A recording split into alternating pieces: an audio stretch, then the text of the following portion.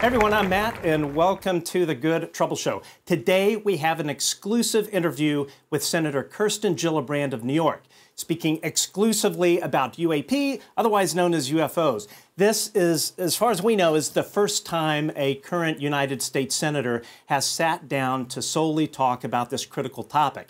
But first, do us a solid. Hit that thumbs up and subscribe button. We are also on all podcasting platforms. Just search for The Good Trouble Show with Matt Ford. Finally, finally, uh, maybe the most important part, your financial support enables us to bring, bring you this show with exceptional guests. You can become a Patreon supporter for the price of a Starbucks coffee. Just go to www.patreon.com forward slash The Good Trouble Show and choose the plan that is right for you. Also on YouTube, super chats are open and are a great way to show us your love. We, uh, we very much appreciate it. So, with that out of the way, let's get right to it. Today, we have two exceptional guests uh, to bring us up to date on this whole UAP thing. Uh, and to break down the hearing, or sorry, not the hearing, the interview that we recorded with Senator Kirsten Gillibrand last Thursday. So please welcome on the uh, the middle screen there, journalist uh, Christopher Sharp of the Liberation Times, and on the right, Vinnie Adams of Disclosure Team. Guys, thanks uh, thanks for joining us. Oh, Thank yeah, you so oh, much. There we go. All right, just making making sure we're uh, making sure we're good there. Oops, sorry. Uh, anyway, yeah, no, thanks for joining us. So uh, yeah, we're we're very very excited about this. So uh, you know, we've we've been in contact with Senator Gillibrand's office for a very long time, and um, this this interview has literally been months in the works, uh, and we're very very uh, very very excited about it. Um, so, you know, as I mentioned often, a lot of our viewers are, uh, they don't really track this whole UAP, UFO topic uh, very much. We primarily uh, have political guests and uh, message and things like that on, on, on that front. So the UAP thing is new to some folks. So with that in mind, Vinnie, if you don't mind, bring us up to date or sort of give us a short historical timeline of how all of this really began, in my view, which was the New York Times 2017 article, and kind of walk us through from that point uh, up until today. Yeah, sure. I'll, I'll do my best. Um, but yeah, you mentioned it right there. The uh, December 16th, I think, was the release of the New York Times article, which was titled Glowing Auras and Black Money The Pentagon's Mysterious UFO Program, which really laid out the work that had been done from 2007 to 2012, this five year period where the um, the UFO subject was studied within the Pentagon, headed by Lue Elizondo. Now we know that since then there's a lot of um, points come up about the the consistency of the dates, the program, its relationship to to AAWSAP, but I won't go too deep into into those issues right now. But this was really what kickstarted things off in in the last few years with regards to uh, the coverage of the UFO subject, especially in the mainstream media and and going forward now. Following the article, we had the release of the three Navy videos, which uh, came out of the Pentagon and were officially acknowledged as as real and genuine videos. Then uh, I suppose the next important um, point was the National Defense Authorization Act, and I believe that was for fiscal year 2021. And this was where we were given the, uh, the, the 180 days for them to produce a public report on the the UFO subject or UAP, um, which we got in June of 2021. And then consistently over the last few years since then, in each uh, National Defense Authorization Act, there has been language pertaining to UAP and legislation. And it just keeps getting uh, deeper and bigger each year. And here we are in you know in this year and it's you know this is why we're we're here to talk about the all domain anomaly resolution office and uh, and how that's been run you know since it sort of started about nine ten months ago so yeah, it's it's like a, it's kind of been a progression in, in the last five years. Yeah, it, it, it definitely has. And uh, Senator Gillibrand, along with uh, some other senators, but I, I, feel like she's really led the fight on this whole uh, on this uh, topic in particular. Uh, we really owe her a, a, debt of thanks and the people that have been supporting her on both sides of the aisle. And I, you know, I always like to emphasize that I'm, I'm a registered Democrat. I'm a liberal, but but people on the Republican side are doing a lot of great work on this as well.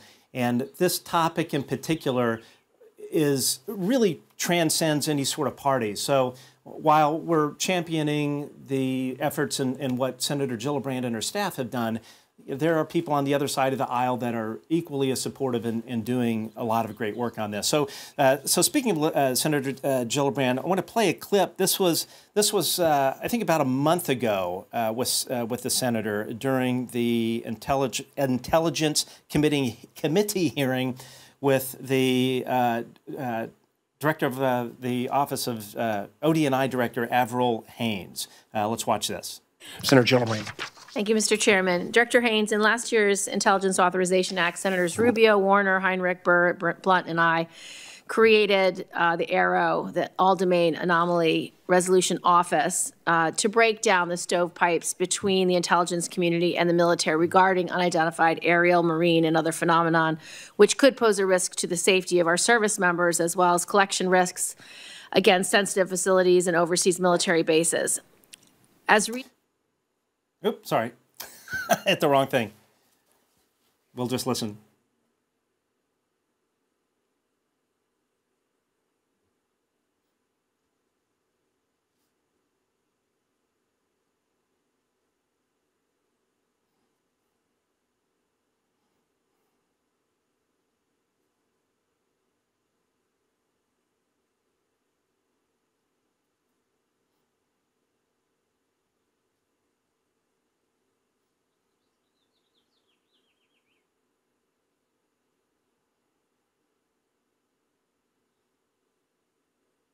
Yeah, so that, that was, uh, sorry, I cut away on the video a little bit too soon, but that was uh, ODNI Director, uh, the Office of the Director of National Intelligence, Avril Haines. So, so Christopher, she's, Senator Gillibrand and really all of the, the, the people in the, the, uh, the, in Congress that have supported this AARO office, they've really had a bit of an uphill battle getting the support from the intelligence commu uh, community and the Pentagon, correct? yes, and the battle has not been run won yet. In fact, I get the impression, as backed up by the letter um, which came out on Saturday, uh, but was from, well, was from the 27th of April from Mark Warner and um, Senator Senator Rubio, so the chair and vice chair of the Intelligence um, Committee, and yeah, they they voiced their frustrations. Um, so it's still an uphill battle for uh, senators within both predominantly the um, the intelligence committees and the armed services committees that have really, really led the charge on getting this language up and running. And um, yeah, and still, despite the National Defence Authorization Act and the language contained within that for the AARO, uh, the law still has not been implemented yet. So, for instance, um, uh, th- th- there's no deputy um, director the AARO, and um, also the communication isn't great as well. That there's no there's no more activity on on, on Twitter, for instance, since that le- first tweet that it let off last summer, and um, there's no there's no secure public facing website as well so that whistleblowers can come forward so it is really really still an uphill battle for for all senators involved pushing this and those representatives as well um, such as Burchett, Carson, Gallego, who have all been really, really pushing this forwards as well. Yes. So speaking of, of the lack of support, one of the one of the initial issues was a lack of funding. So uh, I want to play this clip with Senator Gillibrand and uh, get your thoughts. And is the AARO office fully funded in your budget? Yes, I believe it is. Uh, you make sure because it was left off last year so, from both the DoD and Intel's budgets? So right, so it's in DoD, but I think our support is funded in the National Intelligence Program, and I'll we'll check to make sure. So everybody DoD. else can answer the question. I, I believe it is funded. Thank you. Yes. I support Senator. Thank you. Yes. Yeah, the uh, it's it's just crazy that they would mandate the creation of this office. They have all of this language in, and, and I think Vinnie, you had said that this was this what went back to uh, what was the year twenty? When was AARO established? Was it twenty two or or uh, When when was that? Yeah, I, I- don't remember. It was established in the summer of 2022. Well, that's certainly when uh, Dr. Kirkpatrick became the head uh, of AARO. It may have been a month or two before he was officially announced as the director. I'm not too clear on, you know, the the start date compared to when they actually announced his, uh, you know, directorship. because I think well, and I think Chris, you had you had touched on this. They they had to send a letter. Uh, Sen- uh, Senator Gillibrand and I believe it was uh, 13 or 14 other senators, uh, Chris, uh, Christopher, that that said, "Hey, where's the money? We have this office, and the OUSDI or Office of Undersecretary of Defense for Intelligence and Security they weren't apparently saying that they didn't have any money. So it sort of felt like no one knew that they didn't have money, which is just really strange. Chris, what what have you heard on on that? It seems to me that it just isn't a priority at the moment for the likes of um, Ronald Moultrie, Lloyd Austin, um, and others within the DoD and also within the intelligence community as well. I mean, look at a few weeks ago, for instance, in the Armed Services Committee subcommittee for emerging threats and capabilities, when Gillibrand asked Michael J. McCord, the Undersecretary of Defense um, controller, um, saying, I was disappointed that for the second year in a row, the AARO was not fully funded in the department's budget request, understanding that we cannot get into specific budget figures in this forum. Can you discuss why AARO was not fully funded? And in his response, Michael J. McCord uh, seems to suggest that um, that Ronald Moultrie had not relayed any concerns or requests for fund for further funding to to him. So, I mean, it just doesn't seem like it's he's really really engaged with the process, and I would argue it's been like that from the start since AOIMSG was first put together. I mean, we had a similar situation around about this time last year when the law still hadn't been fully implemented. And um, I mean, we thought all the troubles had gone away because, from an operational um, perspective, the AARO was supposed to be reporting directly to the um, Deputy Secretary of the Defence and also um, I think it was Stacey Haynes as well. I think is the principal um, deputy for um, ODNI as well. I may have got that wrong. Sorry. Um, so she was. So um, the AARO was supposed to report to those two basically, but still, because it's not been implemented, um, Kirkpatrick, the director of the AARO, is still reporting to Ronald Moultrie like he was last year. So we're really the status quo still has not changed, and you can see why the Congress is really, really growing frustrated of all of this.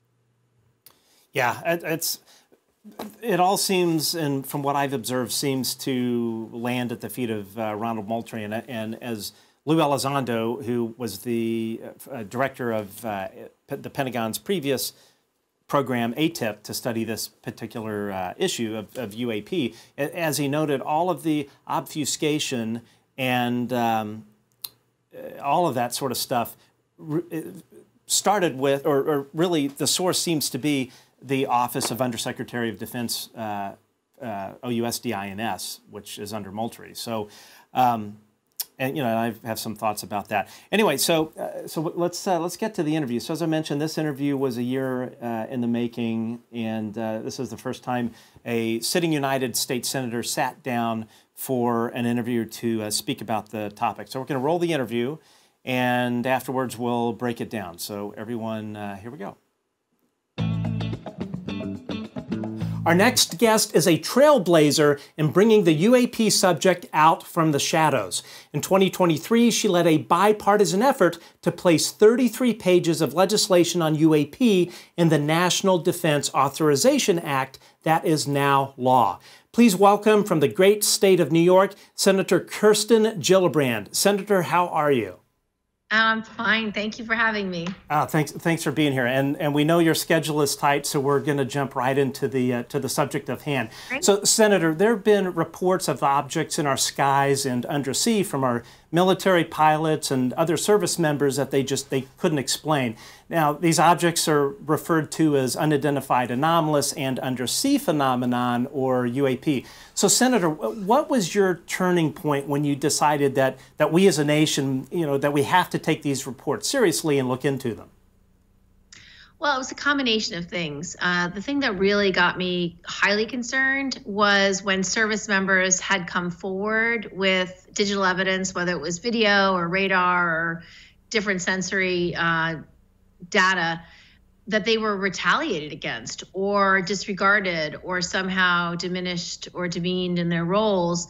And I thought, as chair personnel at the time, at the personnel subcommittee of the uh, Armed Services Committee, I was not going to tolerate our service members uh, being in any way disparaged because they were doing their jobs to report these um, sightings. And so once I heard about that, I started getting much more um, detailed in my review of what is this, what is the you know the the scope of these unidentified aerial phenomenon. Um, what is the military's role? Are they reviewing them? Do they actually analyze them? Do they identify them? And unfortunately i found out the answer was largely no and they weren't actually doing the work which is why me and a few other senators on the armed services and intelligence committee decided to create a specialized office two years ago within the department of defense that were supposed to review all sightings and to make sure that whistleblowers can come forward, to make sure that no one can be retaliated against, and that they, that people are obligated to report. Because we wanted to make it clear that that the military could not um, disparage or retaliate against people who were just giving evidence of things they've seen, which is absolutely essential from a domain awareness, national security perspective. So we are now just pushing the, the military and the intelligence community to fund this office and to do the work. Now, and we're going to talk about the whistleblowers a little bit more in, in depth here in a bit. But one thing I wanted to touch on so, these military uh, servicemen and women that have testified observing UAP operating in a way that exceed our current understanding of physics. And a lot of these cases, they go all the way back to World War II and beyond. So, with that in mind, would, would this preclude adversarial operations such as those from China and Russia from the equation? No, and in fact, for a lot of people, that's what it's all about. Um, what the goal of the office is to do is review all data related to unidentified aerial phenomenon present, past and as reported. We also now have the goal of increasing our collection. So, actually, increasing the sensors and the radar capabilities and the ability to glean information and data from airspace that previously we really didn't monitor. Uh, we do very little monitoring of airspace outside of commercial airspace. Uh, and we have requirements for commercial airspace. You have to have emitters, you have to have lights but many of these sightings can be uh, in the areas that we don't monitor very effectively. And so the new ambition for this office is to make recommendations about additional sensors, what we need developed. Um, and also, it's important from just plain old national security. If you've got China developing hypersonic missiles, you need the ability to detect those as well as a Chinese spy balloon or Chinese drones or Iranian drones or any other adversary's military capability or spying capability that's being utilized uh, over our, our military bases, over our missile sites, over our assets. Um, it's vital that we have that domain awareness and that we can ultimately have superiority, air superiority in places of conflict. Now, uh, going back to, to AARO, so when, when you mandated that the Pentagon establish uh, this office that eventually became AARO, what, what was the reaction from the Pentagon? Did they attempt to interfere or take care, take control of the narrative? How, how did they react to, to this legislation that you passed or that passed? So I'm not sure. I mean, we we know what was publicly available, right? Right. And uh, you know, when we were recommending this office, they quickly set up their own office, which was a bit a bit odd. Um, Right. But I don't know why. That might have been in the works. Who knows? Sure. Um, but our goal was to really create something transparent and accountable to the American public that has a, a public facing um, aspect, that has public reports, and that destigmatizes the sightings of aerial phenomenon. Uh, it is imperative that we destigmatize this because we need facts and we cannot allow things like spy balloons to just coast over the United States, Right. taking photos and Right. getting data from our missile sites and our bases. It's it's unacceptable. And you know, in many respects, we were asleep at the switch because we weren't looking for this stuff. Because from the military's perspective, it didn't exhibit hostile behavior. It wasn't attacking. It wasn't shooting. It wasn't chasing, and it wasn't um, evading. All of those types of behavior are things they would have cared about and would have really tried to not only understand but um, defend against. But because the behavior of a lot of this aerial phenomenon that we've captured is by chance, like the fact that some device goes under an existing um, craft that's recording data and information is really how we're catching these. It's when our pilots fly by something and say, "What is that? What is that object? What is that? What is that aircraft? What what is that doing? And and Right. why is it moving in that way?" And that's hard to understand. Our devices and sensors on our aircraft aren't calibered to capture this information and easily reposit it to a scientific group to review it. So we're going to try to change our sensors on aircraft to do that so we could actually capture the data, review the data, and be able to assess it one way or the other known, unknown, and if known, what is it? Um, we've been able to assess, you know, let's see, our January report, we assessed 366 um, pieces of data from sightings since the last 20 years. We've had a huge influx in reporting, and now we're up to 700, I think, is what they said Wow. in the hearing. Okay. 700 or 600? Yeah, 650 unknown aerial phenomenon. And so, of the 650, uh, we know that in the first batch, the 366, they designated about 150 were orbs or balloon like objects. About two dozen were drones, a handful were debris or birds. Uh, but 171 in the first tranche were unknown still. And so, in this larger tranche of another 300 or so, we'll assess um, what they are. And th- th- this this office and review isn't isn't ideal for UFO enthusiasts in that they aren't necessarily getting to the bottom of past sightings. Like, is it Right. real? Was it is it true? Did that happen? Um, because all they can do is review data that they have access to, and all you have is a video clip or all you have is a photo. You don't have any additional data to weigh that against to assess what actually is it. So a lot of the goal of this office is to get much more data so we have the tools we need to assess what is it uh, in real time as opposed to having to go back historically. So we may never know of the, let's say, the top 10 sightings historically that enthusiasts are certain are, you know, a flying saucer or whatever it is. You may never actually be able to assess that and say yes or no because you have no additional data. And so, what's so important about AARO is it's not only cr- gathering the data that the Air Force and the Navy and other armed services detection has, which is high quality data, mm-hmm. and then comparing that with publicly available data, things like what did the FAA record on that date, time, and space? Did anyone have any weather balloons in the area? Did anyone have any other detection devices to see if they got any photographs or any video evidence? All of that is so much more scientific and capable of assessing. And so, if you saw the hearing, um, Dr. Kirkpatrick gave us two examples, and they both looked, you know, bizarre. But one, he was able to cross-reference enough data and information from public information like FAA, and they could actually identify ultimately that it was, you know, a puddle jumper. It was a, it was a slower flying aircraft that because of the lens and the camera that was able to get the digital images, it was too blurred and too undefined to know what it was. But with cross data, they identified it was an aircraft.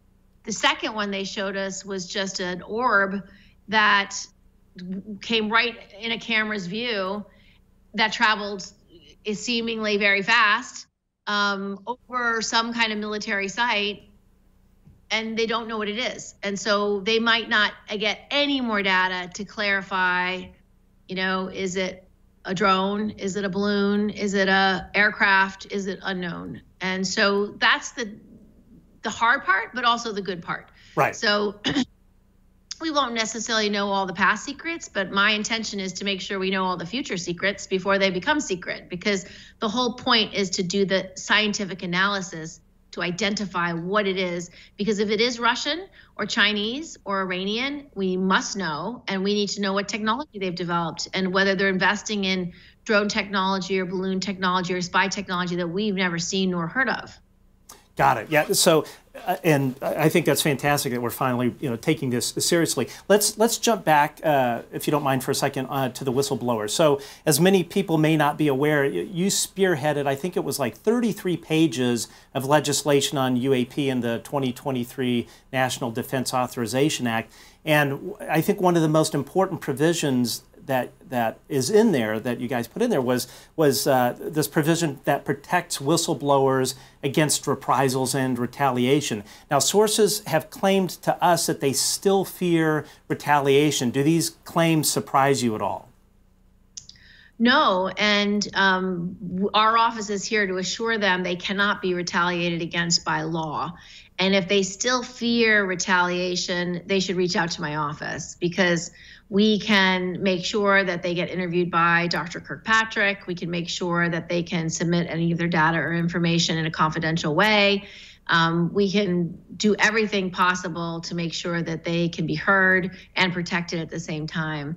Um, you may not know this about my history, but we've been working on military sexual violence for a long time. Right. And we were able to help a lot of service members who wanted to tell their story but were still afraid of retaliation. And we were able to make sure they got lawyers, that they had um, a confidential way of reporting, and we made sure that they were able to do with what their with their testimony that what they wanted to, uh, whether it was ever public or not public, based on their needs. So we're here to help, and um, we're here to make it easier. We are going to have a public-facing uh, website soon. Um, a draft has already been submitted to the higher ups to to approve. So as soon as that's approved, and I asked all the higher ups when are you going to approve this, and um, clearly, there's a bottleneck somewhere, but I'm going to get to the bottom of it. And so eventually, there'll be a place where anyone can upload data, information, video, photographs, um, and can also see the stuff that's been declassified, which is important so that people can see, like, this is how we took this video, and this is how we know where it was, and this is the publicly available information we laid on top of it, and that's why we know what it is. That's important so people can know it may look like something on first blush, but with scientific rigor, it's not that. Or it may look like something and we still don't know what it is. So right. the truth is, we will get to whatever facts we can, but there'll still be things unknown.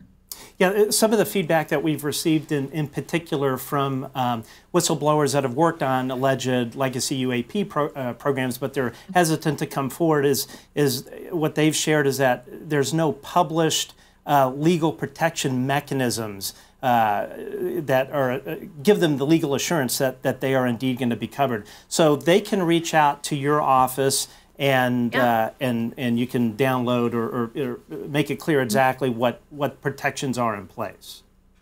Yep, they can definitely do that, and they can. Um, we have an email that is confidential, just casework at gillibrand.senate.gov, and if they just put UAP in the Ray line, it'll get to our our military staff who will then follow up and make sure that they are um, given confidential uh, support and advice on what what their next steps could be and, and where the protections lie.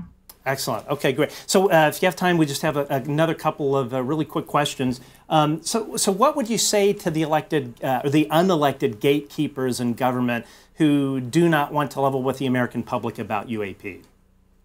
So my concern is that's not their judge. That's not their job. Um, this type of work should be public. We should have uh, transparency and accountability. There's going to be some stuff that we find that we won't want to share publicly. Like for example, if we assess that the Chinese have this one kind of drone technology that's a huge national security risk, the Department of Defense may decide something like that needs to stay on the secret level so they can not only prepare against it, but they probably don't want China to know that we know what they're doing. So something like that, I could imagine we would try to to stay um, non-public, but anything that's not related to national security, we should definitely be, be declassifying.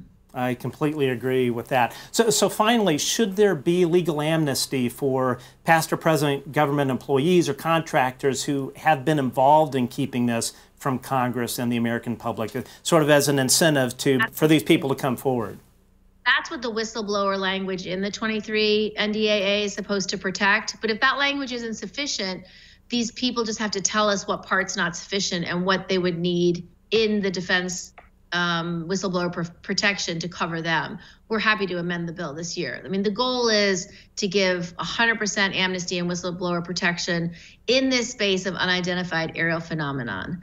Um, and you know, there, there may be explanations about what programs people were working on. They might have thought it was about something, but it really wasn't, and they were never told what it was about. Mm-hmm. So there, there can be those kinds of misunderstandings. But the truth is, we have the ability to take classified information. We have the ability to talk in classified settings so that they're not breaking their classification uh, NDAs. Um, we have the ability to do that. And so we will write the whistleblower protection to make sure it covers um, compartmentalized uh, programs, special right. uh, access programs, and um, intelligence oriented or top secret programs. We can make sure that there's a setting, a, a SCIF or a, a mm-hmm. top secret setting where they can give their testimony. We, we, we will not allow them to be harmed. Fantastic. And we'll, we'll send, do, we will do whatever is consistent with whatever agreements they made. Excellent. Okay. Well, well, this is great news. And Senator Gillibrand, I mean, we really appreciate uh, you coming on our show to talk about this really important topic, and we know our audience really appreciate your leadership uh, on this. Senator Kirsten Gillibrand, ladies and gentlemen. Thank you, everyone. Thank you for the opportunity to talk on your show. All right, there you go. So, um, so a few thoughts. I, one thing I think uh, folks need to keep in mind is any any senator. Um, they're going to really be careful to stay in their lane. So we we asked questions that we felt that she would be uh, be in a position to answer and, and and not filter just so we could get as as as much information as possible. And and the other thing too with these folks, and you see this also with with Senator Marco Rubio, you have to read between the lines. Uh, with with what they're saying, they're not going to come right out and say there's a non-human intelligence or uh, you know, we've got a, a, saucer stashed in the garage somewhere. You, you have to you have to read the sort of uh, subtext. So you know when they're when they're talking about um, unknowns or uh, or even just orbs, you know, orbs aren't just going to you know fly around like a like a balloon. It, you have to really um, you have to really listen, but listen to what they're saying very carefully and my prediction as this thing continues to roll out, their um, sort of calculated nature and what all of these politicians say when it comes to this subject, that's going to relax as more and more information comes forward. So, um, so yeah, so let, us let's, uh, let's jump into this interview and just sort of break down some of the questions. So, uh, you know, we asked what was her sort of turning point, and uh, Gillibrand noticed, you know, for her that it was service members coming to her with uh, digital evidence, uh, video, radar, or different sens sensory data, and that these folks were retaliated against, and and uh, they were either retaliated against, disregarded, or somehow diminished or demeaned in their roles, and that you know, she wasn't going to tolerate it. And she found that no surprise that the military wasn't really doing anything about this, other than sort of propagating, in my view, the the, the stigma. So, uh, Vinnie, the, the DoD, they really have had a very well documented history of obfuscation and um, retaliation against a lot of these folks, correct? Absolutely. We know it's been ongoing for decades. But one thing I will say just before we kind of get into that is that, you know, kudos to you because what you've been doing is actually cultivating a relationship with Senator Gillibrand. And you know, we all could think of a million questions that we'd love to put in front of her when it beco- uh, you know, when it comes to UFOs, non-human intelligence. But you can't just throw that at a senator. It's not you know it's not the thing to do. It's not just a, an, another ufo enthusiast that we're just having conversations back and forth. We have to be very careful about the way we approach this. And i think after that interview you know it's likely that we'll be able to continue this relationship and maybe you know get to those more important questions further down the line. So you know i know some people might be discouraged by the fact that we didn't say what do you know about non-human intelligence? and things like that. So i, I ask people to bear in mind that we're talking with a, a sitting senator here. So it's not just a case of throw everything at her and, and see what she's got to say. But yeah, as far as the obfuscation and, and the cover up, we all know it's you know been going on for so many years, and there is data somewhere you know on in classified programs and you know this is you know there were a couple of comments that that uh, Senator Gillibrand mentioned in there about you know we may not get to the or to know all the past secrets but we we might get to know all the future secrets before they become secret this is the kind of positive kind of discussion that we want to hear from from people in power so you know i do take some positives away from it yeah, thank you for that. Yeah, and we definitely looked at it uh, from that perspective. Uh, first off, we're an unknown entity. We're not CNN or or anything like that. So just the fact that we were able to get a sitting United States senator to come on and speak about this subject was a, a, huge get for us. And the other thing to keep in mind, of course, is you know she sits on the Senate Armed Services Committee. She set, uh, sits on the uh, uh, Senate uh, Select uh, Committee for Intelligence, I think is what it's called. So she is specifically dealing with classified information. And um, you know she, she's got to be careful in what she you know what she can say. I, I do think that she's pushing the envelope, and um, and and we should be very grateful for really going to the mat on this particular subject. It was it was time someone did, and the senator was the right person to do this at the right time. Uh, so uh, let's see where I lost my place here. Um, yeah, so so Chris, so you know we asked about observing UAP exceeding our known physics going back to World War II, and part of that uh, question was some people obviously there are incidents where there are balloons or or drones or, or things that are misidentified as something um, anomalous when when they actually aren't. But one of the things that that people like Lue Elizondo and others have brought up is the things that appear to have a non-prosaic answer, the the behavior of these craft and whatnot this, these sort of vehicles have been observed going all the way back to World War II and probably beyond, where um, you know where this was before jet propulsion or anything like that. So that was part. That was really what I was uh, asking about, and you know, and she said no, and was curious. What was your, Chris? What was your uh, sort of feeling on her her response to that? Yeah, yeah, absolutely. So, firstly, I would say to people who are expecting, you know, saying, oh, there should be tougher questions and stuff like that, you know, get with the real world. You know, this isn't a movie. This is the real world dealing with an actual US senator here. Um, and, you know, it ta- it's taken a lot of time to actually um, arrange this interview.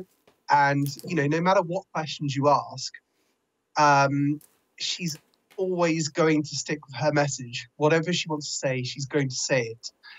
And, you know, if you'd ask questions like where are the bodies and stuff like that, she's right. gonna walk out. Just gonna walk out the interview. I mean, right. get real people. I don't know what world these people are living in, but we're dealing with politics here, you know, and uh, the real world, not a movie. Um, to that point, um, in terms of precluding Chinese technology and Russian technology, look, um, I would have to disagree with the senator there. I mean, um, our good friend Graham Rendell, for instance, has catalogue so many incidents going back to the 1940s. And I mean, um, you know, great researchers will, you know, know of events that happened even before that. And, you know, when we're talking about the 50s and 60s, China was in a famine situation. Um, you know, they couldn't even afford horse and carts, let alone fighter jets and, you know, any other advanced military equipment. So, um, I, I, think, yeah, I think it definitely does preclude this from being China and and Russia. Um, so I, I think that look, this is a really, really good first step here. She said some really good things, and I think, I mean, I, I would compare it to this. Look at the first series of um, you, know, on the History Channel with um, Lue Elizondo of Unidentified, Lue Elizondo, Chris Mellon. They, they would have never mentioned ET or anything exotic like that. It was a process. And I think we're going to see the same with the politicians as well in terms of that. You know, just think of the enormous progress we've made. Like a year ago, we couldn't have even thought about a sitting senator such as Kirsten Gillibrand appearing on a show like this. And I've said this before on my Twitter, you know, just look how people are positioning themselves. Look how the positions are shifting. Look at um, look at General Olson from the Space Force the other day, for instance, saying that UAP are basically ubit- ubiquitous um, and saying that we need international cooperation and stuff. The Space Force would have never said that a year ago. Kirsten Gillibrand would have never appeared on your show a year ago. So I think positions are shifting on this. And um, like I've said before, I think some major revelations are coming down the line and people preparing for that. I completely agree, and and again, thank you, uh, uh, thank you both for the for the kind uh, kind kind thoughts. I I, I mentioned uh, I mentioned at the top of this. I said probably going to be fifty percent are going to love this interview, and then the other fifty percent will be why didn't you ask this? Why didn't you ask that? Uh, and I, I certainly understand that frustration. I would have liked to have had asked some more pressing questions, but again, we were being very careful in. Um, in uh, putting forth questions that we knew she would be able to address. Uh, so it wouldn't be a lot of uh, no comment, no comment, no comment. We, we want, wanted to get as much information out of her as, as possible. Now, when we asked about, uh, about AARO, and we asked, you know, when she mandated it, what was the reaction from the Pentagon? she seemed a bit uh, tickled about that. Uh, about that, uh, you know, she noticed, noticed or noted, sorry, that the Pentagon quickly set up their own office and with AARO, she wanted to create uh, something transparent and accountable that has a public facing aspect, cr- uh, creating uh, public uh, reports, and that would destigmatize UAP uh, topic. She also noted that, that with the Chinese balloon situation, that we were completely asleep uh, at the switch, which seemed to certainly be the case. and, and she said that, you know, that our, our sensors are not calibrated to catch some of these things. Now, out of that out of uh, her uh, her reply to this particular answer, what I thought was interesting were some of the statistics that she pointed out. Uh, she stated that 300, uh, and uh, this is under AARO, 366 cases were studied over a 20-year period, which that that I wasn't aware of that it was going that far back. She said 150 were orbs or balloons, uh, about two dozen were were drones. And since uh, since since this particular uh, since they started looking into it, they've had 650 more cases. 171 uh, are still unknown. Vinnie, my, my question to you is, you know, obviously balloons and things, drones, whatnot, that's all explainable. But her using the term orb, um, I think that's pretty significant. Orb when I think of orb, I don't think of anything prosaic in terms of a balloon, a, a drone, a swamp gas, a seagull, whatever. Orb, I feel, is a pretty specific thing. And for 150 of them to be orbs or balloon like objects, I think that was a pretty significant uh, admission she, she uh, said there. Vinnie, what are your thoughts on that? Yeah, absolutely. I completely agree. I mean, she kind of almost brushed over it like it was nothing. It was like, yeah, 150 from the first tranche of uh, reports were orbs and balloon-like objects. Well, orbs, yeah, it's it's that's pretty substantial. And balloon-like objects, you know, what does that actually mean? Well, we do know from the report that we had in January of this year that when they were putting things into categories and you know uh, balloon-like entities was used that they also clarified in that report that just because they had categorized some of these cases it doesn't mean that they had confirmed or gotten to the bottom of what they were. So you know these objects that are still in this 150 uh, bracket could still relate to something anomalous. They're just trying to categorize them, even though there is still the unknown bin on top of that. So, yeah, I was very surprised that that one she mentioned orbs, and two that it was kind of just brushed over slightly. Yeah, I, I, and this kind of goes back to the what I was saying earlier that you really have to read between the lines with uh, what what politicians and, and officials are are saying. They're they're very careful in their wording, and it's for a reason. Uh, so so moving on from that. Um, so, Chris, let's talk about the whistleblower protection in the National Defense Authorization Act. Why was that put in place? And I believe that was one of the first two clauses in the NDAA, correct? Uh, that's correct. It's, I would have to look through the NDAA myself just to make sure, but it was certainly in there. And it refers to, um, my understanding, it refers to re- retrievals um, and back engineering and stuff like that. Look, we're not reverse engineer. We're not talking about reverse engineering um, drones from Russia that are being used currently in Ukraine. We're, we're not talking about this. Uh, we're, we're, talking about reverse engineering of um, of potential um, non-human intelligence. That that is literally what we're talking about. So when you guys are having a discussion, you know, about whistleblowers, this is literally what we're referring to. It's already come out. People like Hal Puthoff have come out, for instance, saying that they've actually come forward and spoken to Kirkpatrick. Others have as well. And I wouldn't be surprised if there were some very, very high ranking people who have spoken to the Congress but haven't spoken to uh, Kirkpatrick in the AARO yet. And it's very, very shocking to me that because the law hasn't been implemented, that she is actually going up to you and saying they should contact my office. I mean, this is literally why the AARO exists, so they could deal with this stuff. But I mean, I'll give Kirkpatrick the benefit of the doubt because they don't have a, a big budget, they have a lack of funding, they have a lack of resource. You know, perhaps she's saying, "Look, we realise that Kirkpatrick, we're going to help you out because look, the, the Congress and senators in particular actually have the powers. They have subpoena power. They can do investigations. So they actually probably could argue that they have more power than Kirkpatrick to actually investigate these whistleblower claims about such uh, special access programs that have not properly been reported and clearly reported to the Congress like they should be.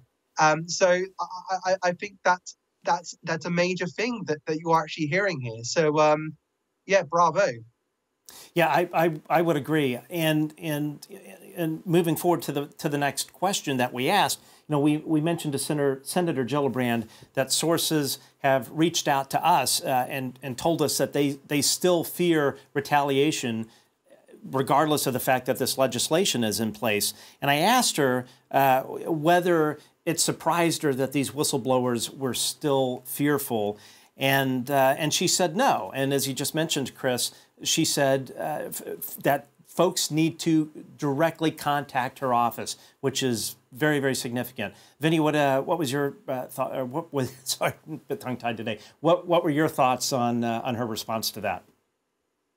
I mean, I'm not really surprised, and I think it's important as well that whistleblowers are going to be cautious about coming forward. You know, it's a big deal, and how can they really be given the uh, clarification that there's not going to be further down the line some kind of repercussions. And, you know, it's great that Senator Gillibrand is willing to offer the, you know, direct direct access to her office. I was very surprised that she released the email address publicly here because I just know what some people are like and they're just going to be bombarding her with oh, yeah. all sorts of uh, you know this and that but right you know, it just shows the transparency that she's talked about and the fact that she said that whistleblowers can also let them know or let her know what amendments need to be added for the Defense Authorization Act going into the next year for 2024. So, you know, so you know, she's willing to to not only receive testimony from these witnesses, but then for them to also help her put into place what would be needed going forward to really uh, you know, secure their trust that they're not going to have any reprisals if they do testify. Another interesting response I, I thought was, uh, you know, I asked her, and this question is for you, Christopher. You know, I asked, uh, I, she noted that in, in one of her responses that that they're going to have a public-facing website soon where people can, people can upload data, photographs, all that sort of thing uh, videos. Uh, and she also said that she's going to get to the bottom of why this hasn't been done yet. And this is this is something where again I'm very critical of um, of, uh, of uh, both AARO and OUSDINS. It's if if I were in charge of a program, uh, so let's say Ronald Moultrie, that their number one mission was to bring in whistleblowers and bring in data, the first thing out of the gate I would do is, is have a website up in no time flat. And I, I, that's really puzzled me as to why it has taken that long for this to happen. Chris, what, are your, uh, what do you know about all of that? I know that that that's something that I, clearly she's wanting to know why it's taken this long for for anything to happen. Also, in, in addition to that, there's been literally zero engagement on the AARO Twitter website, which just blows my mind. Well, Kirkpatrick said it himself. He's a scientist. He's not a communications expert. Um, and he's having also to deal with multiple amounts of within the DoD and within the intelligence community as well.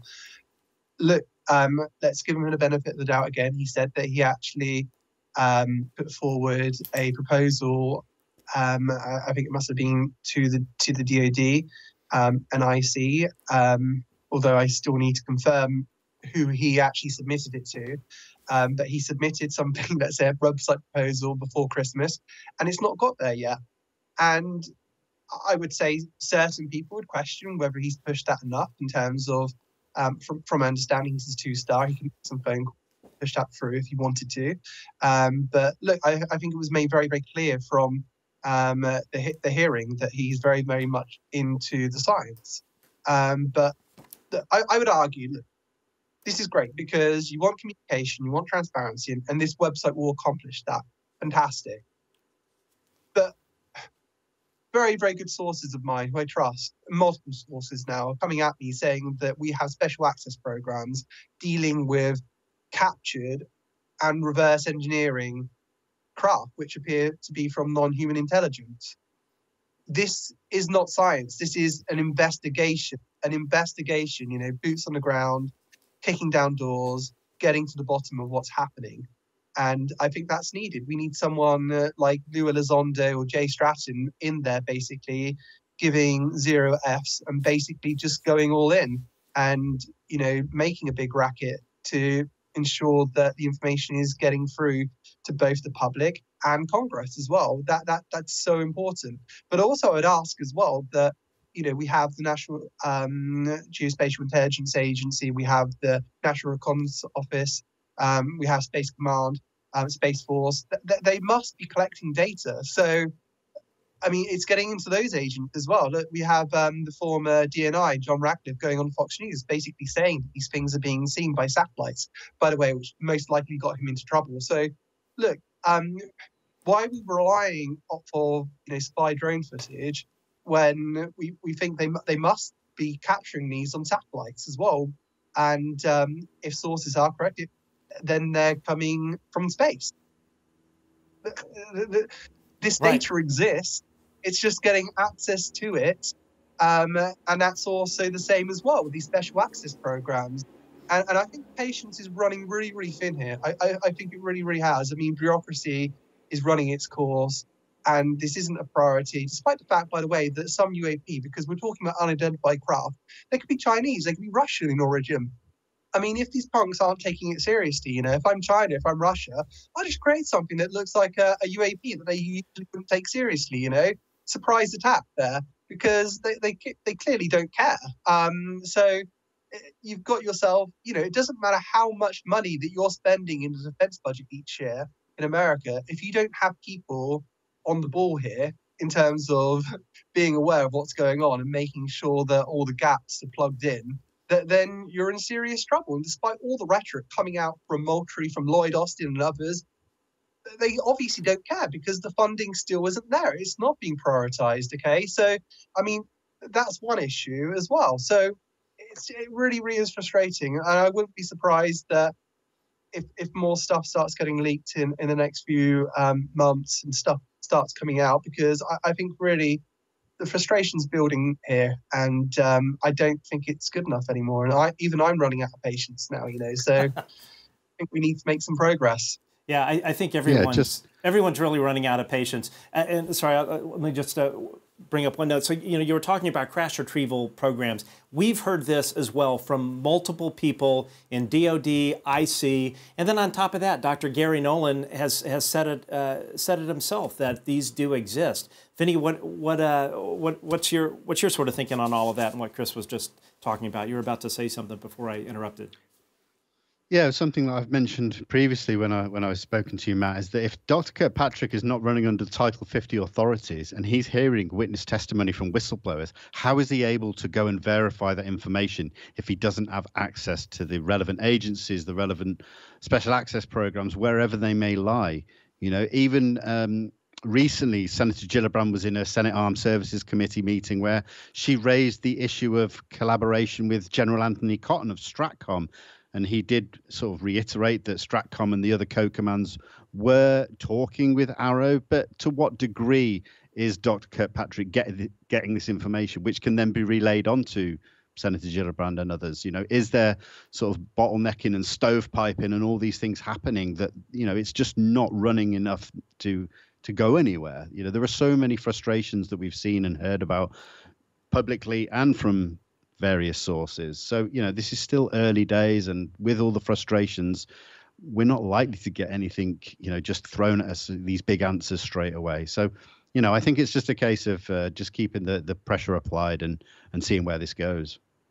I, I totally agree. I would come back. I come back to that quickly. I would Yeah, say, yeah. why did it take a public hearing for him to request um, the authority, Title 50 authority, to actually have that? What, why has it taken that long to actually request that? And also, I'd question something else as well in terms of the testimony taken taken by Kirkpatrick. It was referenced in the recent letter from the Senators Warner and Rubio that they want regular reporting to be kept updated uh, what the test what, what the testimony of what the content of the testimony taken from the whistleblowers was so reading behind between the lines here that is telling me that information which is important isn't getting through to the congress on time or isn't being reported at all currently by kirkpatrick otherwise why would they even mention that in a letter i would argue at this point when it actually comes down to whistleblower testimony and actually getting to the bottom of potential saps i, I would say that AARO's potentially redundant because senators have more powers, I would argue, to actually get to the bottom of this. And I think, like I said before, I think um, you could argue that the AARO and Kirkpatrick potentially being boxed in because all these whistleblowers have already spoken to Congress. They've spoken to Congress, which is why the Intelligence Authorization Act contained the initial, the initial language in there whistleblowers. They've already spoken to Congress. So what's happening is they're going to Congress, they're having conversations with Congress, giving all their testimony, and then they're going to Kirkpatrick. Sometimes Kirkpatrick may not even be aware that these people have spoken to Congress beforehand. And then what the Congress is doing is they're exchanging notes. Okay, what did the testimony say when they spoke to us? And what is Kirkpatrick telling us? So I, I think I think to an extent you could argue that they're being boxed in. And um, I mean, my dream scenario would be to have a church committee part two, where really we lay all this bare in terms of the obfuscation coming from the DoD. And it's just, yeah, sorry, I'm getting very, very frustrated. I, I need a cup of tea. I totally understand. I, I mean, I, I would I, I would completely agree with this. I it to me, in my perception, it seems that Ronald Moultrie and and these folks were purposely hamstringing AARO, do, laying impediments in their path to make it almost impossible for him to do the job. For, and again, the Title 10, Title 50 thing. And, and I think that that is probably one of the reasons why Senator Gillibrand in her interview encouraged folks to come directly to her. She has more legal authority than AARO. And, and again, this is all kind of born out of, in my opinion, an attempt by the DoD to make AARO as least least efficient as possible and make it impossible uh, for for Dr. Kirkpatrick to do his job. Now, having said that, I've also been very critical of him. I've uh, I, you know I, am trying to give him the benefit of the doubt, but you know as you mentioned earlier, he's like an SES two, a two uh, almost like a two star general. If I would think he would be able to pick up the phone and within a one month period have a front facing website. Uh, but if he, you know, if he's being hamstrung by not having the money to do this, um, and this goes back to the earlier part, it just blows me away that they did not get the funding that Senator Gillibrand and these other senators uh, spoke about. And I want to kind of jump off a little bit. You you, uh, you mentioned this um, you mentioned this letter uh, that was sent to uh, Secretary of Defense Lloyd Austin. Uh, this letter was dated on April 27th, and I believe this uh, became public the following day. And uh, the letter is uh, to the Honorable uh, Lloyd J. Austin, Secretary of U.S. Department of Defense, and the Honorable Avril D. Haines, Director of National Intelligence. And this letter is from uh, Democrat Senator Mark Warner and Republican Senator Marco Rubio. Warner being the chairman of the uh, uh, what um, what is this uh, intelligence? I'm not sure what department this, what committee this came out of, but I want to touch on a, few of the things here. And again, this, this goes back to the obfuscation that elements of the DoD and the intelligence community have done for literally decades. And we'll, after we cover this, we'll, we'll, uh, we'll go back to what, what I asked Senator Gillibrand about the, the, these gatekeepers that are clearly doing what they can to hide all of this from the American public.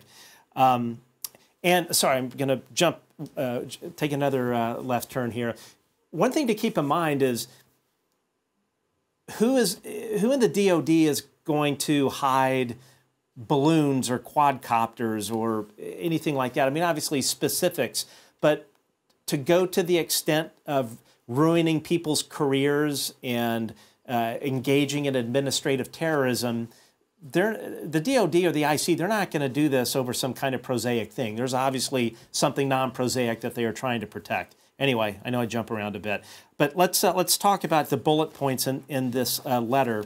Uh, so one of the things uh, he says in here. Uh, the senators say the FY23 NDAA requires the director of AARO, who would be Dr. Sean Kirkpatrick, to report directly to the principal deputy director of National Intelligence, uh, PDDNI, we know they love their acronyms, and the Depu Deputy Secretary of Defense, despite assurances that there is a proposed plan to implement this change in, re in reporting in circulation, we have yet to see any final guidance issue issued, we request that you provide us, provide us an update on the proposed plan, including the timeline for issuance and the final uh, final guidance. Chris, what, what, what are they talking about here specifically? Is this about moving AARO out from under uh, of uh, uh OUSD-INS? Yes, yes, that, that's, that's correct. So basically, they're, they're now going to report, or Kirkpatrick is directly going to report to um, the, uh, principal um, deputy director of national intelligence, so I think Stacey Dixon, and deputy secretary of defense Kathleen Hicks. So you know that that was a really really big deal getting this thing moved out of um, OUSD and I, INS and Moultrie basically. I think they're only reporting to him now um, for for minor um, things. I think it's like HR issues and things like that. Um, but otherwise, they're reporting to um, to very, very superior figures and more superior to more severe superior than Moultrie as well now. So um, yeah, so so yeah, they're, they're basically asking, and this is the chair and vice chair of the intelligence committee, and they're basically asking what why has this not been implemented yet? And also, I'll add another thing as well is that um, at least Lloyd Austin serves within the National Security Council within the White House, and we know that the National Security Council has set up its own UAP um, interagency team now. Uh, so, so one wonders what's going on with that, whether there is something else happening behind the scenes here in terms of control over the UAP issue um, with the White House versus the Congress on this. Um, so perhaps you have a situation where Moultrie and Haines, who actually previously seemed much more open to being transparent on this topic, um, maybe you have a situation now where they're reporting directly to to Biden's team on this, and they're trying to make some progress. And in the meantime, that they're basically ignoring the Congress. I, I don't know. There's friction there between the Congress and, and the White House, definitely. Uh, for sure, and uh, let's uh, we'll we'll go through a little bit further on this on this letter. Uh, so one of the things, another bullet point here, uh, FY twenty three NDAA specified that the Director of National Intelligence will, which is Avril Haines, will appoint a Deputy Director of AARO from the intelligence community. However, to date, a Deputy Director has not been identified. This Deputy Director of AARO is intended to be the focal point for IC integration and to be fully empowered by the PDDNI uh, to, uh, to convene the IC on the UAP issue. We ask that you update uh, update us on the timeline. So again, another position was supposed to be filled, and the Pentagon is, in my view, purposely dragging their feet, trying to torpedo this whole thing. Uh, now, this gets into some more interesting uh, things here. Last few points, which we, we, we touched on a little bit earlier so the, the, third bullet point on this letter to uh, to Secretary uh, Austin and uh, Director Haines, the FY23 NDAA established a secure process for AARO to interview witnesses. We are pleased with the number of interviews AARO has conducted, but ask Congress be regularly informed about the content of the interviews going forward. I mean, that's significant. That's basically saying that that AARO has not been telling Congress what these whistleblowers have been telling them. And then, and then you have, then you have um, uh, Dr. Kirkpatrick kind of glossing over the whole thing in the Senate hearing that uh, the recent Senate hearing on on AARO. Um, yeah, Vinnie, what do you think about that? I mean, that that's for for them to have to specify, hey, AARO, tell us about what these whistleblowers have been telling you. That I don't know what to think about that, but it's not good. No, it's not good at all. I mean, you've got two members of the Gang of Eight here, people who have extreme amounts of power to be able to do something with this information. And if they're not getting it, how can they act? You know? So yeah it, it, they need to be kept in the loop with what is reported by the whistleblowers to AARO. You know there's got to be some streamlined or structured way for this to to be a regular thing so that the information flows you know? But again this is just another example of how things are just slowed down and and uh, and not happening as per the um, NDAA like the previous point about the IC uh, integration for the deputy director that that again we're now in May and we still have many parts of the legislation that have not been implemented, and, and it's just not acceptable. It's absolutely not acceptable, and it and it completely flies in the face of congressional intent. And it, in a way, it's it's sort of giving the middle finger to Senator Gillibrand and the other senators uh, that they don't care what what they're legislating, which that's that's not how a democracy works, uh, for sure.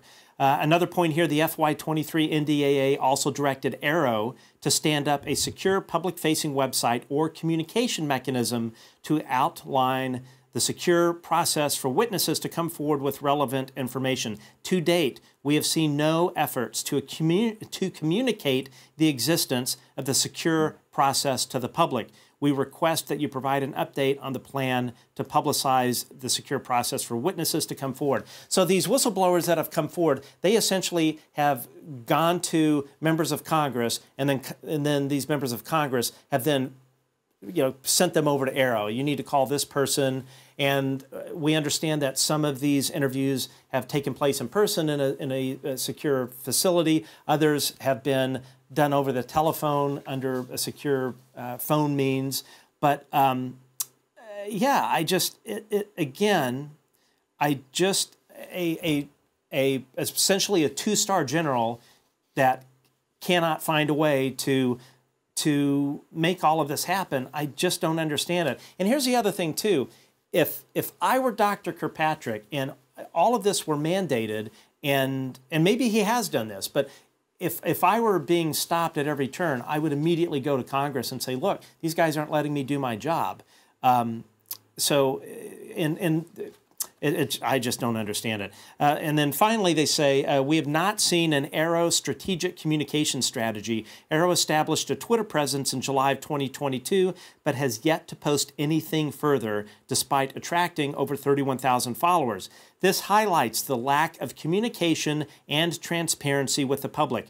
We seek to understand why AARO has not made use of its social media presence and the future plan for educating the public on the mission and findings of AARO. Again, same thing. That, that Twitter page has been up for how long? And absolutely no post whatsoever to me that's just unex- unexcusable. And and the other thing I would I would say as well if I were standing up in office and I were the director of that office, Dr. Kirkpatrick, the I would say the number two person the number the the actually probably the first hire I would make would be a communications director because your office is only going to be as successful as you're able to communicate your mission. And yeah, so, so I you know I'm very frustrated by that. Chris, am I am I being overly frustrated by that?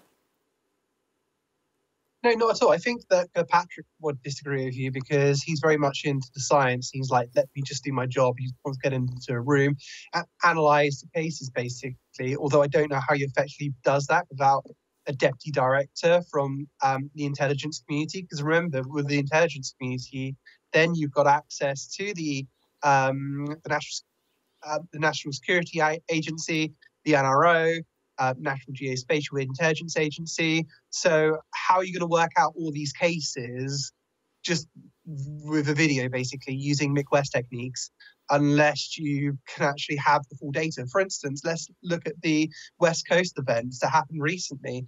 It's still not known where these things came from.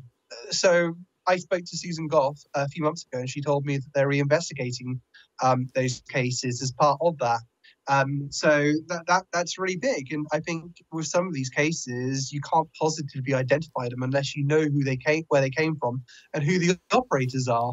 Th- those are basic things, and with yeah, and what you just said in terms of communications um, director, yeah, that that that is that is so important. I think that you know it would be great to have a communication strategy in terms of this in actually um, providing monthly updates how the progress has gone. Um, and, and if there are any holdups or anything like that, just just communicate them. I think if we're honest, you know, um, then people would understand that. And if Kirkpatrick had said before, for instance, that I need the proper authorities to actually do my mission, instead of having to wait until a public hearing to do that, then we would have understood that, you know. So um, communication is is very very much key to this, and um, I'm very disappointed so far about how it's gone. I, I would agree, and again, this this comes back to my frustration with Dr. Kirkpatrick. Maybe he's not the man for the job. Um, the the director of an office with on a, on a, on a topic that this is important. If you don't have a front facing uh, public uh, web page, you're not responding on Twitter, uh, you have no communication strategy, you're not you're not communicating to Congress what these whistleblowers have been saying, and then you go in front of a hearing and, in my opinion, blow off what these whistleblowers have been telling me. I, I don't know. I mean, again, I, I, am trying to give him the benefit of the doubt, but everything that I'm hearing so far says to me he is not the man for the job. Uh, he may be a great scientist and all of that, but you usually don't have scientists running this kind of program. You would have somebody from the intelligence community that's that's going to be uh, open to it uh, and not. Uh, it's just it makes makes no sense. So let's uh, jump back into the into the interview. One of the last questions that I asked was, uh, wh- what would she say to the gatekeepers that have kept this uh, secret. And, and, she noted that you know we obviously cannot have Chinese balloons, but said that it's it's not the job of the gatekeepers to whether to to level with the public. This, I think, is another really important statement that if you read between the lines, she is not, in my opinion, is not talking about prosaic explanations. It just it makes no sense to me uh, she's talking about orbs, things that are not from here. Otherwise, why would these gatekeepers go to such lengths to hide this and retaliate against whistleblowers and all of that? Uh, Chris, what do you think? Am I reading between the lines here too much, or is do you think that may have been what she where she was going with that? No, you're not at all. You, you have to read between the lines with uh, politicians. Anyone who's a political out there who watches all the political shows and who's involved in politics, they, they realize that you have to read between the lines when these kind of statements are made, especially with someone who could literally be put in jail if they say too much because they're being um, they're being given classified materials to work with. So I would say you're right on the money there, and I think he, I, I think she realizes and it's been made very, very clear to me that Gillibrand knows and other members of the Congress privy to the data realize isn't from here, it's from somewhere else. They know that. they know that already. Um, I mean, and all those people that doubt them, that they say, "Oh, you know, this is just Lue Elizondo and this is just Chris Mellon." They have no idea what they're talking about. They do not. No idea. Right. I, I, I- wonder if they're missing. I, I don't even think they've got a brain cell between them. To be fair, because you've got um, John Ratcliffe. I know for a fact that none of them know John Ratcliffe. I, I, I doubt Lue Elizondo or Chris Mellon have ever met John Ratcliffe in their life, but they're both singing from the same hymn sheet.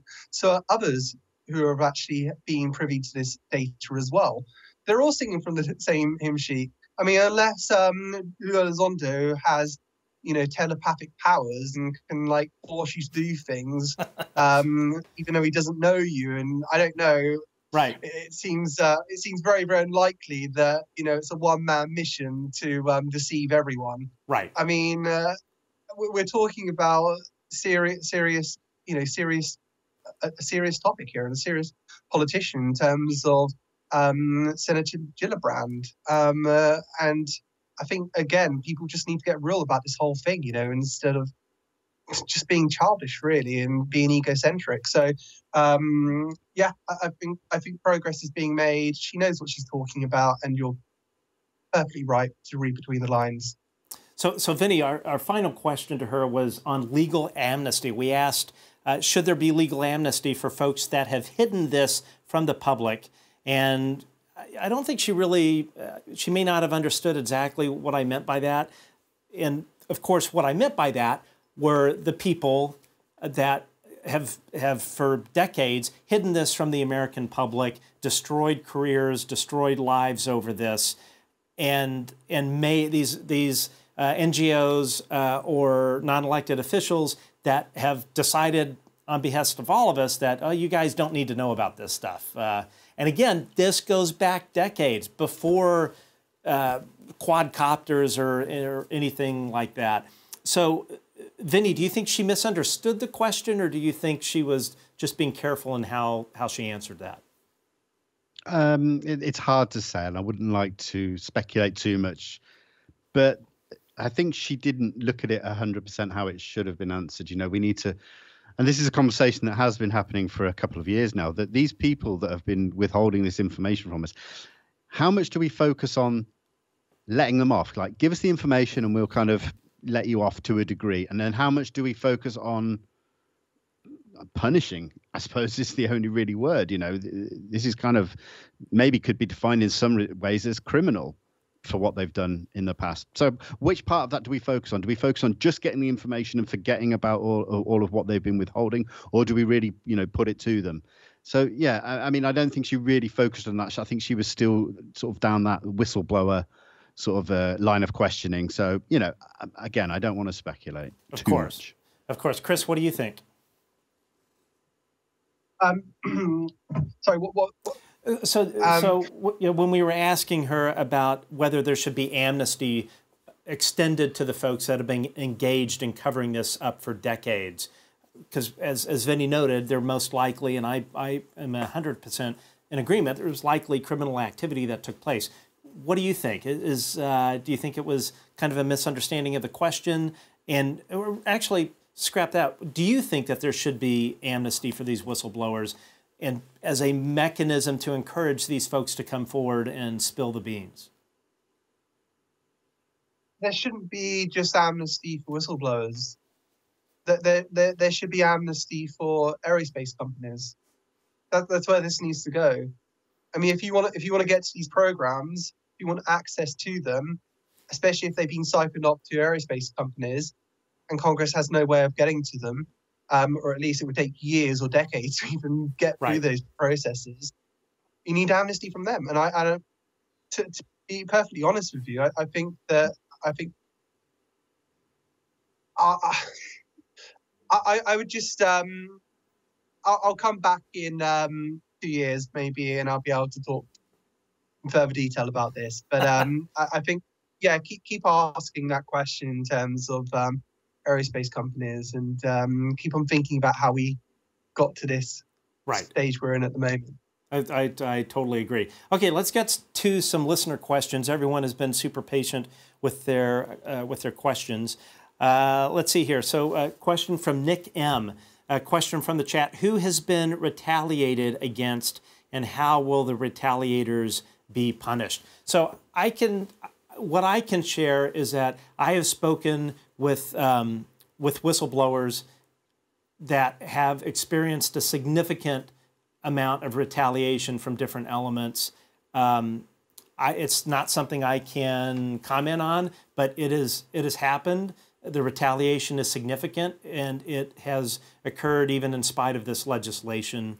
And this is something that we are going to be uh, communicating directly with Senator Gillibrand's office about these cases that we are aware of.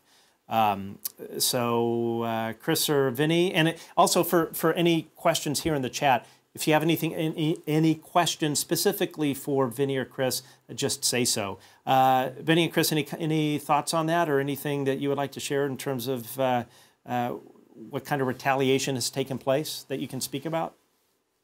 I mean, it's happened on all levels, hasn't it? It's happened within the armed services when it comes to pilots and service personnel, even reporting this kind of thing there's been pushback you know and this goes right up to the highest level. So other than adding that to what you already said you know it, has been happening for a long time and on all levels.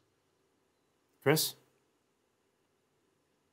I, I would say that you have to get you have to get uh, as much as some really really horrible stuff has happened and you're dealing with trained killers a lot of the time who are making these threats I, I would say that once the truth comes out you need you need to get beyond that because we may be dealing with some more concerning things in terms of the activities from some UAP, which seem to be prepping the battlefield. So I, I think that the concern needs to be placed elsewhere, which is perhaps why some of these people don't want the information out. Perhaps perhaps these people are just good patriots and American patriots. Sorry, my son's coming in. But um, I would, I would question that. Sorry. No, no problem. Yeah, I I, uh, I, completely agree. And what I will say about that retaliation, I would classify it as administrative terrorism. That is the best way to describe what these uh, these uh, men and women in uniform have experienced. It's just uh, it's just crazy. Okay, super super chat question here. I keep hearing. Uh, there are military and intelligence people that will be coming forward in 2023 with huge revelations. What are your sources saying? Vinnie, I'll throw that throw that to you first. Well, you know, we did. We've been hearing about this for some time from multiple uh, people publicly and from sources as well. And you know, I think these people have come forward, but they are coming forward in classified settings. So we will not be hearing that information anytime soon. But you know, from what I've heard, and I know from you know having conversations with other people that they've also been told that this information is getting brought forward. But again, it's not something that's likely to become public. Agreed. Soon. Uh, Chris, uh, I know you were you're uh, having uh, having to uh, deal with uh, your son popping into the into the Christopher Sharp studio there. so the the question was, if you didn't hear it, was this was a super chat question. I, I keep hearing that there are military and intelligence people that are, will be coming forward in 2023 with huge revelations. What are your sources saying? Uh, my sources have to be very, very careful with me because I'm a journalist.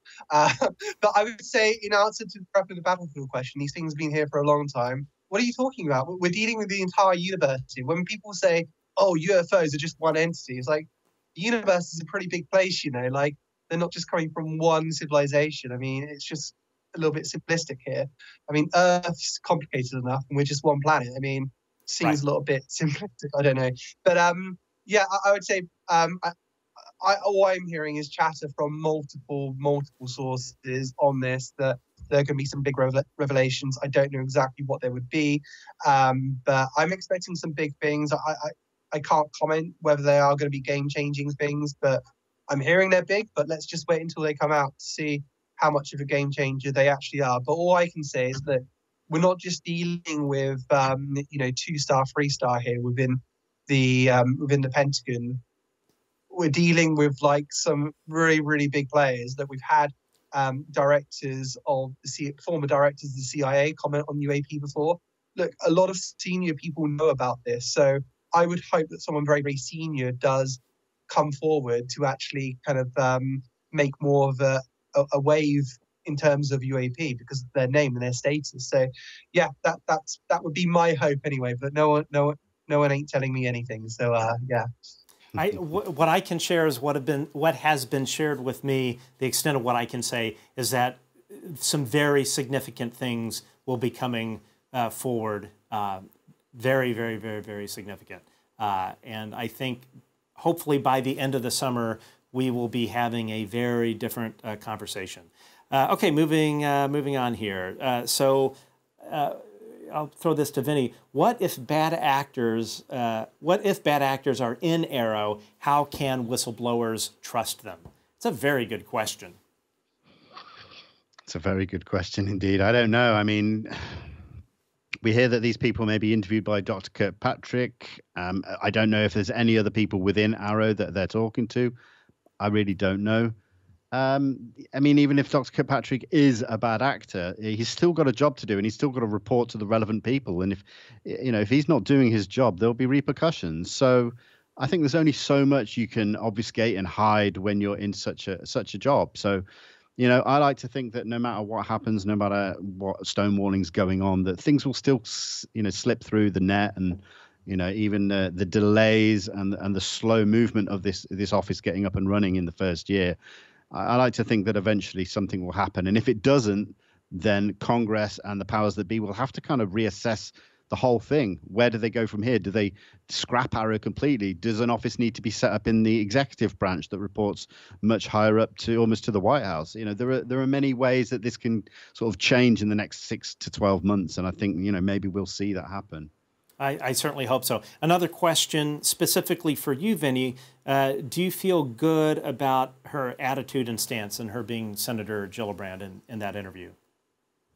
She, yeah, she's given me absolutely no reason to to think particularly negative of her. I know she was very cautious in the way that she answered questions. That's to be expected. There's no surprise there for me whatsoever.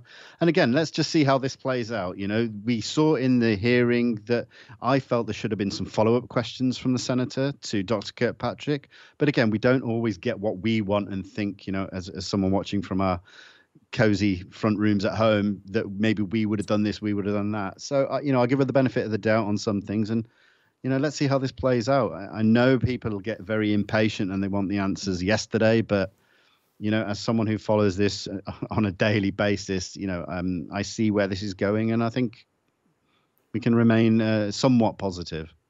I, I agree. Uh, Chris, uh, Chris, do you think we will see Eric Davis, Admiral Wilson, or Bob Lazar testify in public? I know there have been rumors of possible uh, uh, House hearings this June. You think uh, we might see folks like them, or even like Lue Elizondo, or or other uh, other folks that have been in, involved in this topic?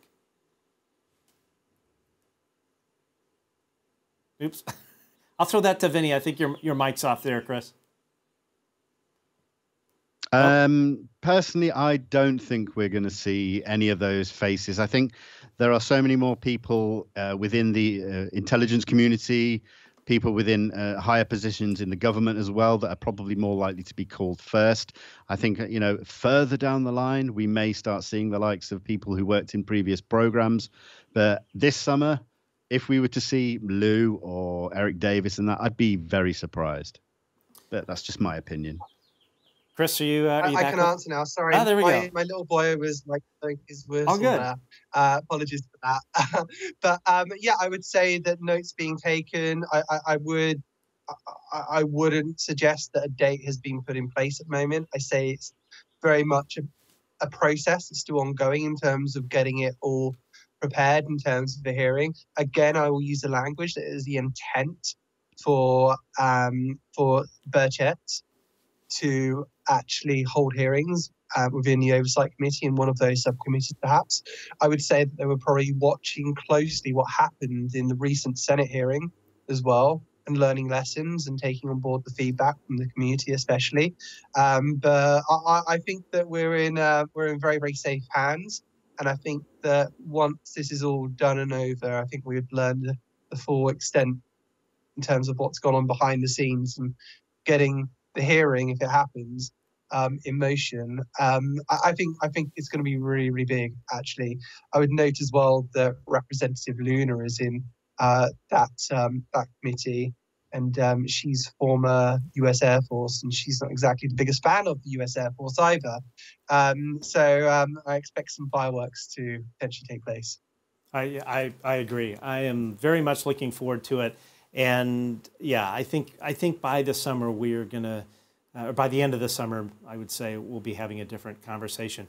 And I also want to bring up too, one one criti- uh, one criticism I've heard Mick West bring up is that these senators staffers uh, have have uh, just kind of uh, bullshitted their way with uh, with their senators and their congressmen and and these sort of uh, I guess I don't know if they consider them UFO enthusiast staffers have completely fooled the senators or, or Congress uh, people into putting forth all this legislation. They just they just completely fell for some charade.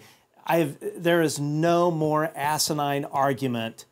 I mean, Mick West makes tons of them. Uh, we know that. But there's no more asinine argument than that. I can tell you from extensive conversations that I've had with multiple um, multiple staffers that work for these congressmen and senators. And you have to keep in mind, these these aren't staffers that are just bringing coffee or something like that. These are these are staffers that hold very high security uh, clearances. Staffers that that um, specialize in the intelligence community uh, community or the DoD community. These staffers are they number one they're working their asses off for the people in this country and, and really the world when it comes to this topic. They are very well informed on this topic. And they have to be because they are the ones that are going to these senators and saying, you need, you need to legislate on this particular issue. This is the evidence. And I guarantee you, it's not just balloons and drones that they are concerned about. Can I ask you a question? Of course. Um, has Mick West or any of the other these other people who are criticizing, have any of them, from your understanding, ever worked in politics before?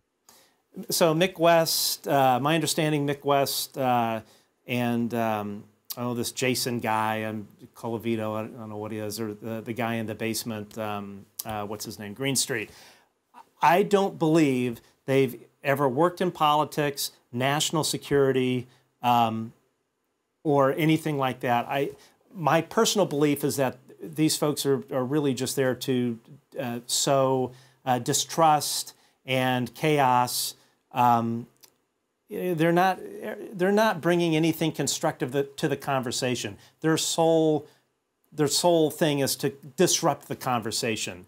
Um, you know, and the other thing you have to ask yourself too, like, why? If let's say I were interested in, uh, let's say I were interested in or not interested in snowboarding or something like that, I wouldn't I would just move on to something else. I wouldn't spend all of my time on it. Or let's say uh, I didn't believe in the Loch Ness Monster. I would say, okay, I don't believe in the Loch Ness Monster, and then I'd go out and have a beer. I wouldn't spend eight, nine, ten hours a day running some debunking website uh, with the sole purpose. It, it just makes absolutely no sense. So that's again, that's my personal opinion. Uh, a lot of people may disagree with that. But yeah, to, very long-winded way, I don't believe any of these folks, A, have ever interviewed a sitting United States senator, for one, uh, or a congressman. Uh, B, I don't believe any of them have ever had conversations with uh, officials on Capitol Hill. Um, I think they're just they're just kind of armchair keyboard warriors. Um, doing whatever they're doing for a reason I do not understand at all. Absolutely. Based on that, they provide zero insight to the conversation, um, zero value, and to be fair, they're just not worth my time. Um, you've got to be listening to people who actually do have insight, who know the sources involved, who know people within the DoD, intelligence, and politicians as well, who have actually seen the classified data. So multiple sources, um, if they're unconnected, even better because they're not having conversations perhaps, and they're all coming at it from one way and they're stating clearly what we're seeing is non-human intelligence. So I'd rather listen to those people, and people like Marek, for example, who does actually have political experience working in the Obama White House and a games developer, or someone who clearly has psychological, um, like many of them do. So I wouldn't really give them any worry whatsoever or listen or take them seriously. Right. They're irrelevant to the conversation. Well, exactly. And and look, if I, I mean, let's say that I don't believe in the Loch Ness monster. hey, if somebody wants to bring up and show some evidence uh, about the Loch Ness monster being real, I'd say, okay, convince me otherwise. But with these folks, it's a predetermined con- conclusion, and their sole purpose in the in life is either clicks or maybe meeting uh, performance metrics for Rupert Murdoch to keep yourself gainfully employed at, at News Corp or um, I mean, who knows? I mean, uh, I have no idea what makes what makes these people uh, tick. It's it's true, truly a mystery. But they're not doing the country any favors at all, uh, and they do not they do not speak to multiple people in DoD, IC, or elsewhere. Uh, I I would be surprised if, if they were. Okay, final question here. Uh, has Gillibrand ever addressed lack of U.S. Air Force involvement? That is actually a question I wish I would have asked, uh, it, it, because it is a question that I've had for, for quite some time. I, I, sus- I don't know how she would address it, but I think it's been very clear uh, from folks like uh, Christopher Mellon, who was uh, what a former Assistant Undersecretary of Defense for Intelligence, that the Air Force has not been cooperating at all. Um, again, this is a democracy. These folks work for us. It's not the other way around, and it's not for them to decide if they want to play by the rules or if they want to follow the law. That's not what this country was built on. So, um, yeah, it's. Uh, I, my guess is that the Air Force has a lot to hide and has a lot of legal exposure for what they've done over the past 80 years.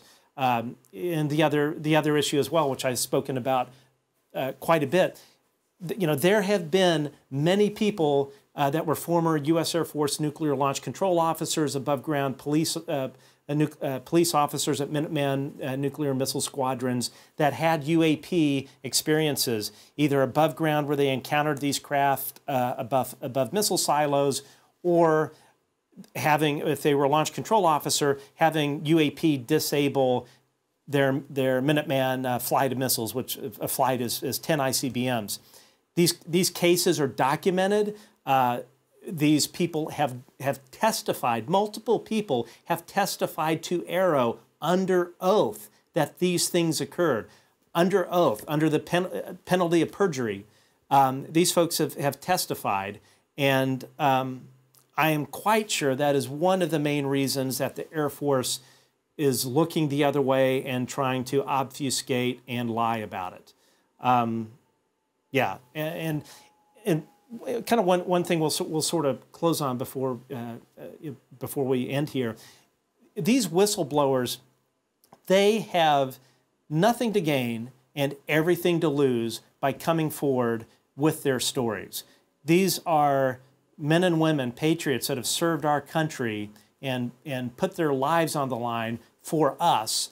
And we owe it to them to listen to them and respect their testimony. And AARO owes it to Congress to tell their report these whistleblower uh, stories up the chain, uh, up, up to Congress, to ignore them and, and sort of blow them off, which is how I took Senator Kirkpatrick's response, I think um, really flies in the face of the congressional uh, intent. Uh, Chris, any thoughts on that? Yeah, I, am very, very com- confident that he has blown them off. I'm very confident in some cases that he hasn't taken. And I say, I don't just say that. Um, I, I, I sincerely believe that in some instances, he's perhaps pretended to take them seriously, um, but then behind their backs, kind of blown them off basically and said, actually, I think they were at all believable at all. So um, I, I don't, you know, I think there are at least some cases when that has happened. But all I would say is that in cases like this, it takes a investigator sometimes, not a scientist, to actually um, verify and validate what it's saying, speak to the relevant um, offices and agencies before doing, um, before kind of like making conclusions. Um, and all I can say is that um, I, I, think that I, think that it's very very telling from the recent Warner and uh, Rubio letter that um, they feel that certain details aren't being to them. And like I said, these whistleblowers have all come to the Congress before they've gone to Kirkpatrick. So they're basically, um, they, they've got the notes, they know what they've said, so they're exchanging notes between what they've taken down from the testimony and what Kirkpatrick's told them. So, um, yeah, I, I, I think to a certain extent, it, I, I think um, the DoD in general and AARO being boxed in. Um, I don't want to be too unfair to um, to Sean Kirkpatrick. He's a scientist. I think he needs more support there. I think you do need those investigators in there at the same time. I think you need that person from the intelligence community um, assisting him as well to make sure that he gets that data that he needs. And, and he needs the authorization as well to get this data from National Reconnaissance Office, um, NGA, and other places that will have the data to actually help assist him um, get to the bottom of live case, but also get him to the bottom of potential illegal SAPs as well. Yeah, and that's where this whole Title 50 thing comes in.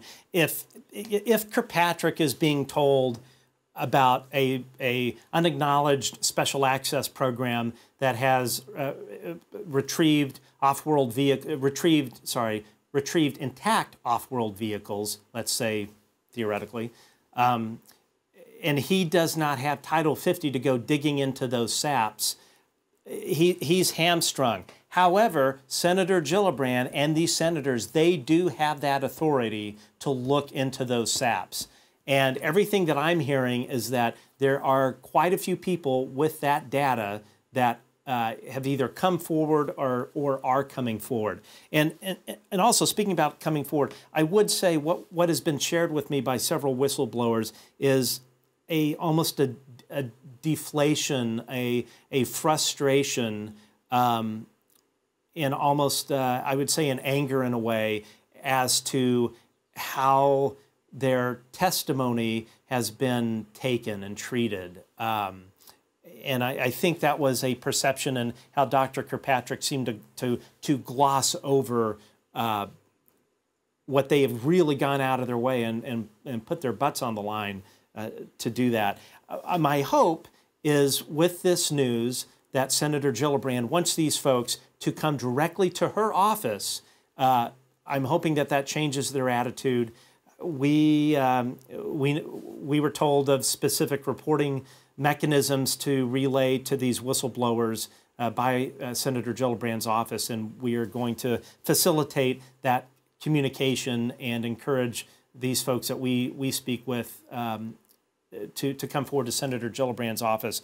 I would say somebody somebody said this in the in the chat earlier, and I think maybe the the um, maybe the, the the the chat or that particular message uh, was uh, erased. Somebody postulated maybe Senator Gillibrand is part of the cover-up. I can tell you 100% absolutely not. In my conversations uh, with with that office, I can I can, you can take this to the bank. She and others will go down in American history books and they will be spoken about for decades to come. And what they are doing for this country and what the sacrifices I think that, or the risks I would say that they've taken politically to bring this topic out of the shadows, we owe Senator Gillibrand, Senator Rubio, and others that are supporting this effort a huge debt of gratitude. They are not part of the cover up they are working to uncover it. Uh, and this is sort of like um, a, a, big ball of yarn that's been wound over 80 years, and it's going to take some effort to to um, to yank it out. Um, Vinnie, any any sort of uh, actually, what do you have coming up? I hear I hear you have a couple of really great guests uh, coming up on your show. Uh, I I don't know who they are. I hope they're okay. Um, yeah, what what do you have coming up? Yeah, so I am going to be joined by yourself and uh, our, wow. our, other friend here, Chris Chris Sharp, this Wednesday uh, live on my channel. But also, more importantly, is the return of my amazing co-host Katie Howland. So Excellent. between the four of us, we're going to have such a wonderful conversation, uh, and I'm really looking forward to it. I am as well. I have to say, I, I, as I've uh, as I've said before, uh, Vinnie, you you were you were the first person on the UAP topic I ever interviewed, and um, in terms of nervousness, this interview with Senator Gillibrand, that was my amp of nervousness was up at about 11. Uh, but when when uh, when I interviewed you, I, I was about an eight or a nine. I was up there. You're you're you're, uh, you're, you're a legend in this in this community, and it was such an honor uh, you. for you to give uh, give me your time. Uh, so we're always happy happy to happy to help. Uh, Chris, how about yourself? Other than uh, this this party that we have coming up on Wednesday, uh, anything that you can speak about? I know oftentimes there's until it's out in the open, uh, it's uh, mum's a word. uh, yeah, there, there's some really cool stuff happening. It's set to be a very, very boring summer. I would just go on holiday, turn off your phone for the next six months. Nothing going on here. Uh, no, but seriously, stay tuned. Um, I think we're going to have a really, really good summer. And um, I'd also look towards the next Intelligence Authorization Act and National Defense Authorization Act language being published. I expect some more UAP language to be in there. And uh, yeah, I'm expecting really, really big things. And Vinnie, really looking forward to your show. Um, just saw you, you got some great guests. And uh, yeah, really, really excited for that one. Yeah, I, I Thanks, I'm very much looking forward to it. And uh, we're just gonna, yeah, we're gonna wrap it up here. But anyway, thank you both for the generosity of your time and your your uh, very thoughtful input and analysis on this really, really great topic. We are very excited to have this interview. We are hoping to announce some equally exciting interviews uh, to come uh, on the Good Trouble Show. So anyway, I'm Matt. Uh, thanks for joining us, and Chris Sharp and Vinnie Adams. Thank you both from uh, across the pond, and we will chat with you soon.